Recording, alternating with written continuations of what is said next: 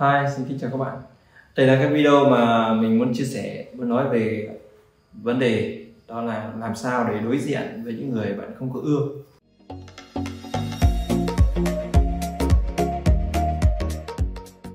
Những người bạn không ưa là nói thì nghe nó có vẻ mang tính hơi nặng nề nhưng thực chất trong cuộc sống của chúng ta nó luôn tồn tại những con người này và có một số ít người trong cuộc đời của chúng ta không may mắn trong cuộc sống thì những người mà họ không ưa đấy, và những người mà không ưa họ đấy, lại xuất hiện rất nhiều. Và thậm chí họ xuất hiện cả một hội đồng, cả một hội đồng. Tức là xuất hiện với một con số tưởng chừng là để trước khi hướng dẫn các bạn làm sao để chúng ta đối diện, khi mà chúng ta gặp phải những người chúng ta không ưa trong cuộc sống, những người không thích chúng ta trong cuộc sống, và đối diện làm sao với cái đám đông đó. Thì trước khi đưa cho bạn các giải pháp mà lộc đã từng dùng đến và từng trải qua, thì lộc xin kể cho các bạn đó là thì lộc ờ, trước nhất lộc xin kể cái trường hợp của lộc thì đầu tiên lộc bị à, đối xử bị phân biệt đối xử bị à, ganh ghét bị nghi kỵ à, bị gọi là coi khinh à, bị hội đồng gọi là bị ghét hội đồng gọi bị ghét hội đồng. À, người ta không có ưa mình mà thực ra là mình không gây ảnh hưởng gì đến kinh tế không làm hại gì họ. Và và mình cũng không mình không nói xấu họ mình không chiêu chọc mình không uh, làm gì để cho họ phải gọi là uh, thất thoát thiệt hại cái gì cả nhưng họ lại ghét mình họ ghét mình đơn giản là họ nhìn thấy mình họ không có ưa mắt họ không có ưa họ ngứa mắt. À, nên là họ tìm cách họ họ hãm hại mình. Đấy cuộc sống này có rất nhiều người làm khó các bạn cuộc sống như vậy. Thì cái lần đầu tiên là bị đó là bị trong lớp học bị trong lớp học. Mình là con người thật của mình mình như nào mình sống thật như vậy. Nhưng họ lại thấy con người của mình nó cũng ưa và họ bắt đầu họ và họ bắt đầu họ họ họ lôi kéo thêm thành viên để gia tăng số lượng người ghét mình. Và họ bắt đầu họ cô lập mình ra và trong lớp học đó thì lộc chỉ có một người bạn duy nhất thôi. Và mình cảm thấy cái người bạn đó là cái sự an ủi lớn nhất của mình. Và cái người bạn đó như là cái vị cứu tinh của mình. Và cái người bạn đó chính là cái lý do để mình ở lại cái lớp học đó ở lại cái lớp học đó và không chuyển lớp khác. Và cũng nhờ có người bạn đó mà mình không cần phải chia sẻ à, cái việc khó khăn à, giao tiếp xã hội trong giao tiếp cộng đồng. Mình không không cần phải chia sẻ với ai. Vì có cái người bạn đó mình nghĩ rằng chỉ cần một bạn đó đã đủ rồi bố có người bạn như vậy là đủ rồi. Thì sau này mình à, lớn lên, trưởng thành, thì mình à, cũng bị à, một lần nữa, đó là khi mình mình đi làm thuê. Làm thuê thì làm thuê cho một làm thuê cái thầu quán làm thuê, gọi là, đi lao động phổ thông. Và không hiểu vì sao họ lại có những phân biệt đối xử với mình. Và nói với các bạn là ngày đó mình cũng chưa tin Chúa và chưa thật sự là người theo đạo như bây giờ, nhưng mà họ vẫn ghét mình. Thế sau này thì mình chuyển đổi công việc thì mình cũng làm ở tại một công ty và vào một công ty vào một cái nơi tập thể làm việc và cũng ở cái nơi đó cũng có ờ, một phần ba một phần ba số thành viên trong cái đội nhóm đó. Cũng không ưa mình. Thì nói chung là đến lần thứ ba thứ tư như vậy thì mình đã quen với cuộc sống là là bình thường hóa với những người không ưa mình rồi. Thì bây giờ à, lộc đã làm được cái việc đó. Lộc muốn chia sẻ với các bạn cái kinh nghiệm cái à, cách để chúng ta đối diện với những cái cái cái cái trần trụi, cái trần trụi cuộc sống này. Phải ra phải biết đối diện với những cái trần trụi cuộc sống. Nó là một cái góc khắc họa khắc họa chân thực của cuộc sống. Đó. và chúng ta bắt buộc phải đối diện. Thì điều thứ nhất để mình Ngọc muốn chia sẻ các bạn, đó là có một cái chân lý bất di bất tử. Có một chân lý từ cổ chí kim đến bây giờ. Cái chân lý đấy có tên là có tinh, thì ắt có khắc tinh. Có thật thì sẽ có giả có tinh ắt khắc tinh. Có tinh ắt có khắc tinh. Tức là, có một cái gì đó tồn tại thì chắc chắn sẽ có một cái gì đó khác khác tức là trái ngược với cái đó, cũng tồn tại song song. Tức là có một con chuột thì đồng nghĩa rằng sẽ có một loài là loài mèo sẽ tồn tại trong song song để làm thù nghịch với con chuột. Mặc dù con chuột chả làm hại những con mèo, và không thể làm hại được con mèo đúng không? nhưng con mèo lại luôn luôn thích làm hại con chuột. À, thích uh, bắt những con chuột để ăn thịt hoặc để vui đùa hoặc để dỡn trượt cờ à, hoặc chỉ để thể hiện cái khả năng chiến thắng của mình. Đó là con mèo và con chuột. Và cuộc sống này nó sẽ xảy ra kịch bản y như vậy với chúng ta. Thiên nhiên như nào tự tự nhiên như nào thì chúng ta cũng như vậy. Đôi khi trong mắt của chúng ta có một vài người họ như là chuột và ta như là mèo. Và đôi khi trong mắt của vài người trong cuộc sống này thì ta lại là chuột và họ lại là mèo. Tức là họ, tức là họ nhìn chúng ta như là mèo nhìn thấy chuột. Họ ghét, họ muốn ăn thịt chúng ta, họ muốn ừ, muốn hãm hại chúng ta, họ muốn dầm chúng ta xuống, họ muốn họ muốn chiêu ngươi cuộc sống của chúng ta. Cái đấy ta gọi là có tinh thì ắt có khắc tinh. Tức là có chúng ta, có ta thì sẽ có những cái khác ta sẽ có những cái khác ta. À, thì khi ta hiểu được cái chân lý này thì chúng ta sẽ thấy à cuộc sống là như vậy. Và chúng ta không thể nào thay đổi được. Thì chỉ có một cách đó là chúng ta phải sống chung với lũ thôi, sống chung với lũ sống chung với cái sống chung với những con người như vậy. Sống chung với họ mấy người mà họ không quý chúng ta. Và chúng ta phải học cách để làm cái điều đó. Học cách để làm cái điều đó. Và có một câu nói rất hay đó là chúng ta không sống để làm vừa lòng người khác. Và bạn có cố gắng bao nhiêu thì cũng không thể vừa lòng người khác được. Mà bạn cứ sống là chính bạn. Nếu như bạn không có gì sai cả nếu như bạn không có gì quá đáng cả thì cứ cuộc đời đó là thì bạn cứ sống cuộc đời của chính bạn đúng không? Còn cùng lắm thì các bạn nhận lỗi về mình xin lỗi trước thế là xong thôi đúng không? Ừ, thế là xong thôi chứ cuộc sống nó không cần phải thiết là mình phải ăn miếng trả miếng với họ để làm cái gì cho nó mệt ta đúng không? Mình có nhiều việc hơn cuộc sống để làm bởi vì mình biết chấp nhận cái quy, quy tắc tự nhiên. Cái quy tắc của cuộc sống đó là có tinh thì ăn có khắc tinh thế thì dựa trên cái chân lý này, thì cách giải quyết của vấn đề này nó là như vậy. Và nó có một cái phương pháp thứ hai nữa. Một phương pháp thứ hai nữa đó là kẻ thù của kẻ thù chính là bạn. Kẻ thù của kẻ thù chính là bạn. Tức là cái người không ưa chúng ta là cái người không ưa chúng ta, chắc chắn sẽ có cái người cũng không ưa họ. Đấy. và cái người mà không ưa cái người đó thì sẽ là bạn của chúng ta. Bởi vì họ sẽ hợp với chúng ta. Chúng ta như một vật thể ở giữa cái đường trục này. Và cái người khác chúng ta thì họ về phía âm, về phía âm, họ khác chúng ta và sẽ có một người, sẽ có một vài người, dù là ít hay nhiều, họ vẫn sẽ về phía dương tức là họ muốn chơi với chúng ta, họ yêu quý chúng ta, họ coi chúng ta là người bạn của họ. cho nên, khi các bạn nhìn nhận được có tinh hay có khắc tinh, thì các bạn hãy dần dần tránh xa tìm mọi cách ít nói chuyện, ít làm việc, ít giao tiếp Đấy. làm sao càng ít va chạm trừ trong công việc là bắt buộc phải làm việc với nhau, thì mình lúc đấy mình mới làm việc thôi. Còn nếu như không phải là những cái nó bắt buộc phải làm việc với nhau, thì chúng ta càng cố gắng cách xa cái người mà đang ở cái vị trí khắc tinh chúng ta. Và chúng ta tiến gần hơn với những con người này. Tiến gần hơn với những con người này là con người có cái sự giúp đỡ chúng ta. Có sự giúp đỡ chúng ta. Có cái sự yêu mến của chúng ta. Và tiến hơn thì nó thấy cuộc sống này. Nó đẹp và tươi sáng hơn. Và đôi khi chúng ta phải coi như chúng ta phải coi như nhé. Coi như cái người này cái người này là lý do của chúng ta. Và đôi khi chúng ta phải coi như cái người này cái người mà yêu quý yêu mến ta là cái chỗ dựa tinh thần chỗ dựa tinh thần để cho chúng ta lấy được cái sức mạnh mà đối diện với cái người khắc tinh của chúng ta. Đấy thì đấy là cái, cái cách mà nó muốn chia sẻ với các bạn. À, sẽ có một người cho chúng ta niềm vui của cuộc sống sẽ có những người yêu thương và chúc phúc chúng ta. Sẽ có những người mà mang đến cho chúng ta những niềm hạnh phúc và sẻ chia với chúng ta những áp lực. À, và những người đó sẽ giúp cho chúng ta được dư thừa năng lượng để chúng ta để chúng ta đối diện với những con người này. Là những con người muốn hút ờ, là những con người muốn à, ganh ghét muốn chống đối muốn hủy phá rồi muốn à, ganh ghét cuộc đời chúng ta. Thì đấy là cách mà nó được áp dụng và nó rất là tốt rất là tốt.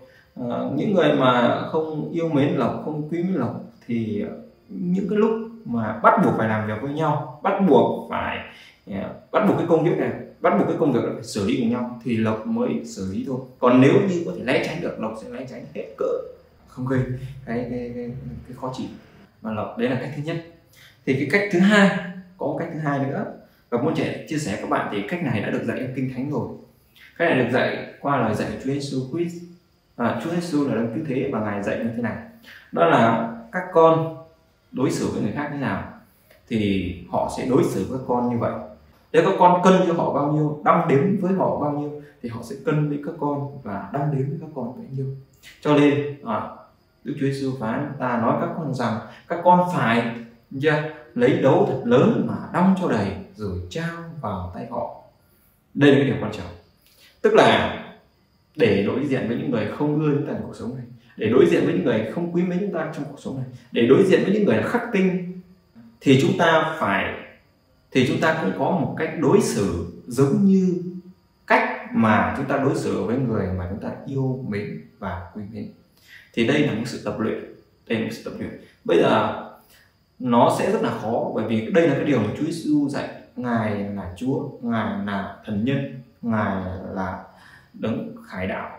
Thì ngài có cái năng lực của sức mạnh ngài là bậc minh triết ngài có đủ cái minh triết để làm được cái điều đó còn chúng ta chỉ là một phàm nhân và chúng ta chỉ là một người bắt đầu bước vào hành trình cuộc đời làm sao chúng ta lại có thể đối xử với người yêu chúng ta giống như chúng ta đối xử với người không yêu chúng ta cách đối xử của chúng ta sẽ khác nhau với người ghét chúng ta và với người mà mà họ yêu chúng ta làm sao chúng ta có thể cho cái người ghét chúng ta bằng cái món quà, có giá trị bằng cái món quà mà ta sẽ trao cho người mà chúng ta yêu, mà người đó yêu chúng ta được, đúng không thì thế nên nó mới là một điều khó và nó mới là một điều của một đấng, của những đấng minh triết giải cho chúng ta. Và cái vấn đề ở đây lộc muốn nói với các bạn đó là chúng ta sẽ cố gắng để làm điều này. Vì chân lý của kinh thánh nó sẽ giống như mặt trời kia. Đức chúa giêsu phán đó là khi mặt trời mọc lên, soi sáng cho kẻ ác cũng như cho kẻ hiền cho người lành cũng như cho người giữ một nguồn ánh sáng tương xứng nhau tương bằng nhau. Vậy các con cũng phải có một cái chân lý như vậy. Và lộc cũng nói các bạn chúng ta cũng phải có một cái cái cái cái cái chân lý này trong người.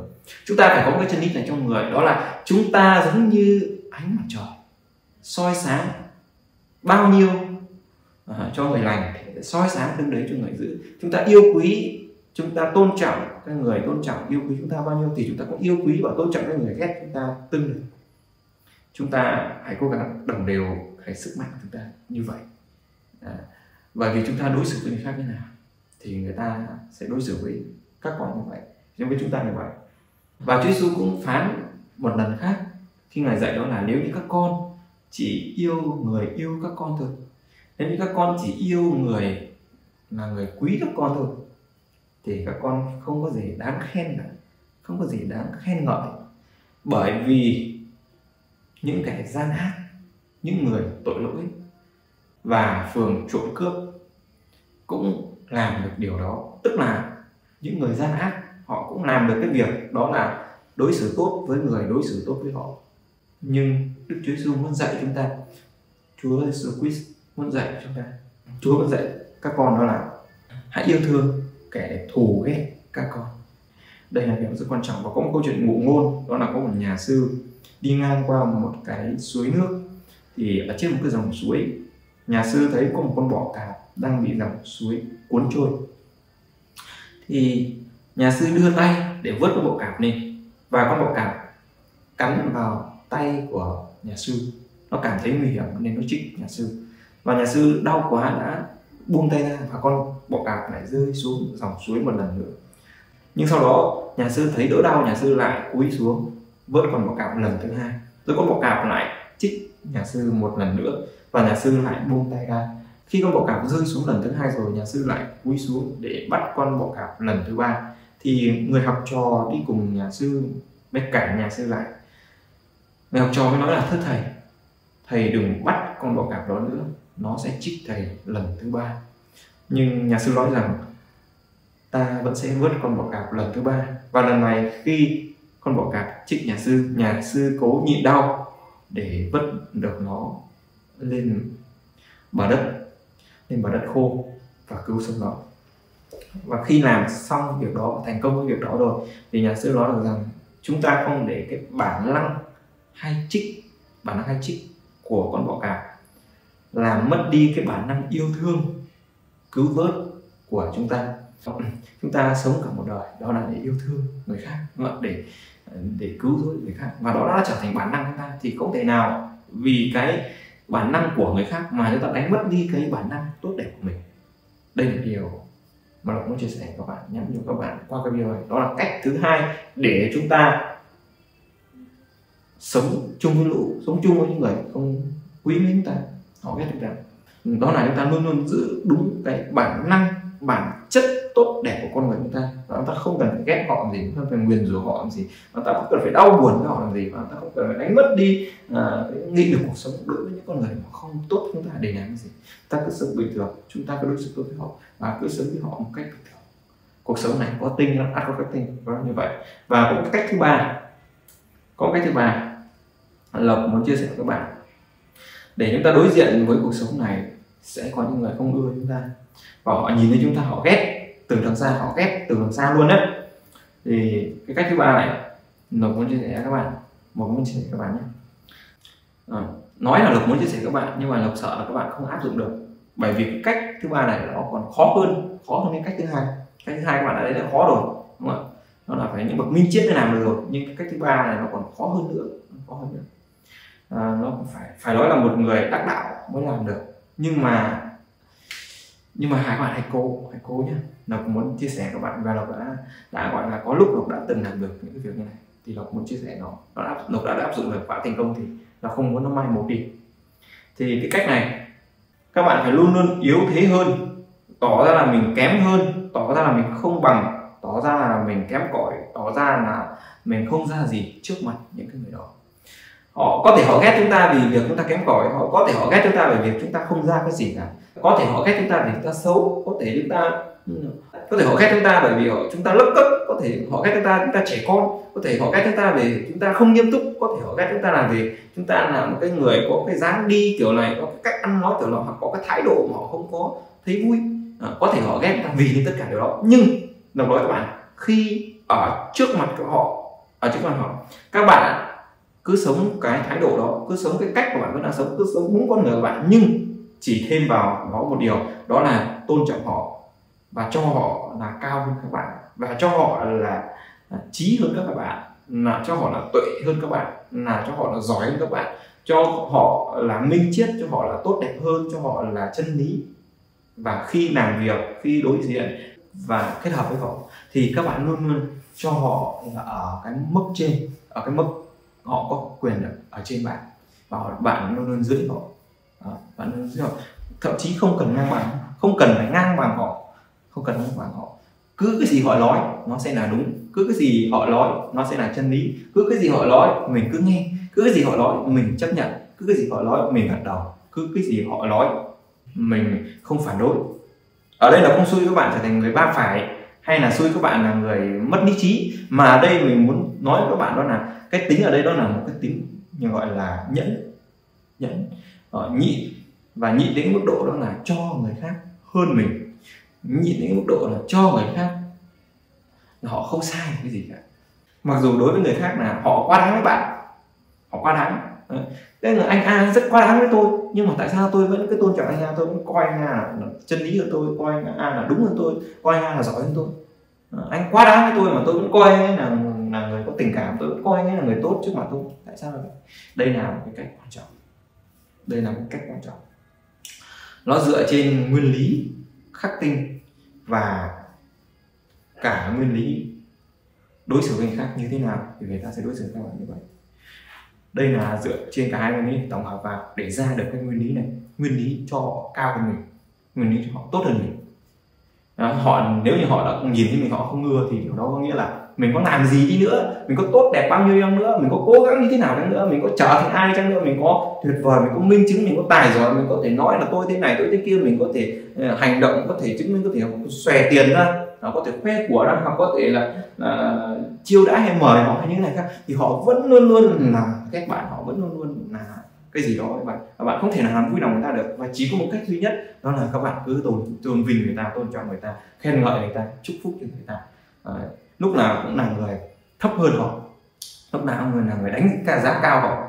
Đánh giá họ. Họ càng ghét chúng ta chúng ta càng đánh giá cao họ. Họ càng không thích chúng ta chúng ta càng đánh giá cao chúng ta càng coi họ là làm tốt hơn và chúng ta càng làm việc chung thì, thì họ phải trên chúng ta một cơ họ phải trên chúng ta một bậc à, chúng ta phải luôn luôn như vậy chúng ta phải luôn luôn là, là, là khi nhắc về họ khi nói về họ khi, khi nhắc về họ khi nói về họ thì chúng ta phải nói với người khác là họ tốt hơn tôi chúng ta phải làm được thậm chí là chúng ta không đặt chúng ta bằng họ đâu mà chúng ta phải thấp hơn chúng ta cứ thoải mái vì chúng ta chúc phúc được kẻ khác thì chúng ta sẽ được đức chúa trời chúc phúc tại sao lộc xui các bạn làm cái cách này bởi vì nó còn thể hiện ở cái nguyên tắc, đó là luật hấp dẫn, luật hấp dẫn, luật thu hút, luật hấp dẫn. Trong cái nguyên lý của luật hấp dẫn đấy trong vũ trụ này, mỗi một cá nhân, mỗi một con người chúng ta, một cá thể chúng ta là một điểm ở trong vũ trụ. Và khi chúng ta rung động một cái tần số nào đó, chúng ta rung động, chúng ta phát ra một cái năng lượng nào đó, chúng ta phát ra một cái tín hiệu nào đó, thì thì cái tín hiệu đó nó sẽ được gửi vào vũ trụ, cái tần số rung động đó nó sẽ được gửi vào vũ trụ. Khi vũ trụ nhận lấy cái tần số mà nó gửi vào vũ trụ, cái rung động mà nó gửi vào vũ trụ, thì vũ trụ sẽ tiếp đón cái tần số đó bằng một tần số tương đương và một tần bằng một cái tần số giống y hệt để giao thoa giữa chúng ta và vũ trụ. Khi vũ trụ thấy tần số phát ra từ điểm mà chúng ta, từ cá nhân này thì vũ trụ sẽ tương hợp sẽ phát ra một cái phần sóng. Sẽ phát ra một cái tần số, sẽ một cái bước sóng. Có những cái bước sóng và có những cái sự rung động giống y hệt như chúng ta đã tung nó vào vũ trụ. Và nếu như các bạn làm được cái cách của lộc đó các bạn tôn trọng họ, khen ngợi họ, quý mến họ, coi họ cao hơn các bạn, coi họ là chân lý, coi họ là đúng hơn các bạn, tốt hơn các bạn, giỏi hơn các bạn, thì tự dưng cái tần số đó các bạn truyền vào vũ trụ, thì vũ trụ sẽ gửi lại cho chúng ta một cái tần số tương đương đó là vũ trụ sẽ cũng coi chúng ta là người tốt vũ trụ cũng sẽ coi chúng ta là người cao trọng vũ trụ cũng sẽ coi chúng ta là người được tôn vinh vũ trụ sẽ coi chúng ta là người được đó, quý mến là người tôn trọng là người khen ngợi vì chúng ta đã khen ngợi đó. cái người ghét chúng ta cái người ghét chúng ta mà chúng ta còn khen ngợi được mà chúng ta còn đặt họ cao chúng ta được thì thì hỏi rằng còn có ai trên đời này chúng ta không thể tôn trọng? Thì hỏi rằng còn có ai trên đời này chúng ta không thể quý mến? Thì hỏi rằng còn có ai trên đời này chúng ta không thể nói tốt về họ được?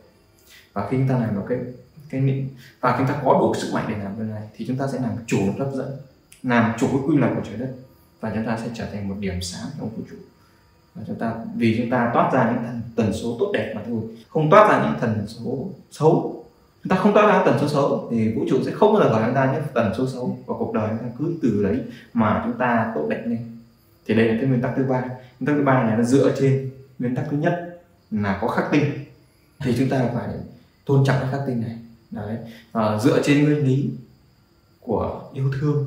Đó là chúng ta đối xử với người khác thế nào thì người khác sẽ đối xử ta như thế. À, thì chúng ta cũng tôn trọng họ để chúng ta được đối xử như vậy. Và chúng ta gửi nó vào cái vũ trụ qua luật hấp dẫn thì vũ trụ cũng sẽ thì vũ trụ cũng sẽ tốt thì vũ trụ cũng sẽ gửi chúng ta những tần số. Đó. bởi vì chúng ta xử lý được từ bản thân trước thì chúng ta sẽ xử lý được người đó và chúng ta xử lý được cả vũ trụ nữa. Thì chẳng có gì đáng sợ khi chúng ta phải đối diện với những người không yêu quý không quý mến không ưa chúng ta không thích, không thích chúng ta. Chúng ta nhẫn xuống nhẫn xuống nhẫn xuống. Đấy, nén xuống thấp hơn nó đây là cách thứ ba nó sẽ có một cách thứ tư nữa nhưng mà lộc sợ là ừ, à, sẽ không dám chia sẻ ở đây ở cái video này. Và cách thứ tư này lộc nghĩ rằng là sử dụng cái toàn bộ cái cơ thể cái body language nữa. Toàn bộ cái gọi là nếu các bạn học NLP ấy, thì các bạn sẽ hiểu một chút. Thì đọc thì nói như vậy thôi tức là chúng ta sẽ sử dụng cả cái hình thể cái cơ thể này để chúng ta huấn luyện cái tâm bên trong nữa.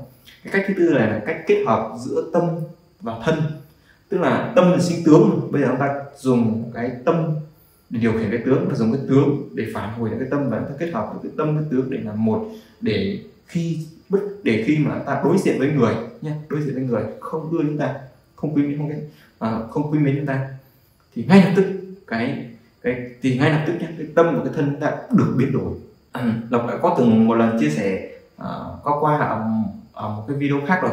Đó là khi mà chúng ta gặp một người khác nhau ta gặp một người khác nhau. Thì cái nhân cách con người người ta nó lại khác nhau lại khác nhau. Đó tức là khi chúng ta gặp bố chúng ta gặp riêng bố chúng ta thì chúng ta là con người khác. Nhưng nếu chúng ta gặp riêng giám đốc chúng ta thì tự dưng chúng ta lại làm con người khác. Hoặc nếu chúng ta gặp riêng người trợ lý của chúng ta thì chúng ta lại biến thành một con người khác. Ừ, tức là chúng ta trở thành ba con người khác nhau khi chúng ta gặp các đối tượng khác nhau gặp ba người khác nhau cuộc sống này. Và khi chúng ta gặp cả ba người cùng lúc thì chúng ta lại trở thành một con người thứ tư để có thể đối diện cùng lúc với cả ba người. Thì đây là tôi đã từng nói nói qua rồi. Cái này nó sự kết hợp giữa tâm và tướng. Tâm và tướng tướng và tâm. Tức là tâm thì sinh tướng à, tâm thì sinh tướng mà thay đổi tướng à, thay đổi tướng để hướng tâm. À, thay tướng để hướng tâm và tâm để sinh tướng thì cái này nó hơi khó. Và nó sẽ không thể nói trong cái video này được. À, và nó là cái phương cách thứ tư nhưng nó cũng không dám chia sẻ bởi vì vì nó sợ các bạn là chưa chưa thể hàng thủ được vì lộc sợ là nhiều người các bạn đã rất khó để hàm thụ ba cách đầu tiên rồi. Thì cho nên lộc sẽ không nói cái, cái thứ, thứ tư này nữa mà chỉ gợi ý như vậy thôi. Để các bạn nào có một cái sự quan tâm nhất định để phát triển cái, cái lương tâm của các bạn để phát triển cái chân tâm của các bạn. Thì, thì sẽ hướng dẫn và lộc sẽ cầm tay chỉ việc sau. Đó, chúng ta sẽ có những cái sự huấn luyện riêng bên nhau sau. Thì đây là cái video mà Lộc chỉ muốn chia sẻ các bạn về đấy là cái cách phương cách để chúng ta đối diện với những người không ưa chúng ta trong cuộc sống này và chắc chắn là sẽ có rất nhiều người không ưa vào cuộc sống này. Và các bạn chỉ cần áp dụng ba cách đầu tiên của đọc thôi. Thì các bạn sẽ thấy được là ôi cuộc sống này đã gọi là dễ dàng đến 8 phần rồi. Đã, đã nhẹ gánh được 8 phần rồi 7 đến 8 phần có thể là chưa triệt được trăm phần trăm bởi vì nó còn cách thứ tư nữa nhưng mà cũng là 8 phần rồi. Nó rất là thoải mái thoải mái để sống rồi thì đây là cái điều mà Lộc muốn chia sẻ với các bạn. Và có thể là cái video này sẽ rất khó và không phải ai có thể có thể làm được. Và mỗi một phương cách thì uh, Lộc cũng nói là video này nó cũng chỉ nói có tầm 10 phút một phương cách thôi thì nó cũng quá là ít quá là ít để có thể đào sâu và có thể có thể truyền cảm hứng các bạn. Đấy nhưng mà lộc tin chắc là những người là đã có sự tu thân tu tâm. Lộc tin ra là những người đã có những cái sự nhất định để phát triển bản thân phát triển kỹ năng mềm phát triển cuộc sống thì họ xem video này họ sẽ nhận được nhiều hơn nhận được nhiều hơn. Còn những người mà chưa từng học các lớp kỹ năng mềm chưa từng biết về kỹ năng phát triển bản thân và chưa từng bao giờ nghĩ rằng là mình sẽ sẽ sẽ sẽ, sẽ, sẽ xem những cái loại video này thì họ sẽ cảm thấy rất là khó hiểu. Cho nên tận cái phút cuối cùng của video này và thậm chí họ sẽ cảm thấy là không hiểu hoặc là họ cảm thấy là lộc đang nói nhảm hoặc họ sẽ cảm thấy là lộc đang nói toàn là giảng đạo toàn là đạo lý toàn là những cái linh tinh. Đấy thì thôi thì đấy là cái điều lộc muốn chia sẻ với các bạn. Thì nó là cái video gọi là vlog. À, không muốn nói nhiều nữa. Lộc chỉ muốn là thôi thì à, lộc chỉ muốn là thôi thì đây là một cái gọi là cái tâm tình một cái hướng dẫn nhẹ nhàng trong một cái vlog một cái cách gợi mở để cho các bạn có thêm những cái kiến thức nhỏ để dễ dàng hanh thông vượt qua cuộc sống. Nếu các bạn nào và nếu các bạn muốn chuyên sâu hơn thì hãy yêu cầu với lộc. Hãy nhắn tin inbox với lộc hoặc comment ở dưới video này. Lộc sẽ làm những cái video có những cái nội dung chi tiết sâu sắc hơn và bổ nhỏ hơn từng cái phần một để hướng tâm các bạn, để phát triển con người bên trong của các bạn, để phát triển cái tâm thức, cái tuệ mẫn cái minh triết của các bạn. Đó là cái điều mà Lộc muốn giúp đỡ các bạn. Và nói đến đây thì Lộc xin được tắt video và kết thúc. Chào tạm biệt.